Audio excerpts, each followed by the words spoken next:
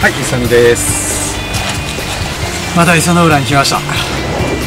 えー雨の日じゃないとね、えーみかん狩りがないんで、えーなかなかサーフィンできないんですけど、波は低気圧の影響でと思ったんですけど、なかったです。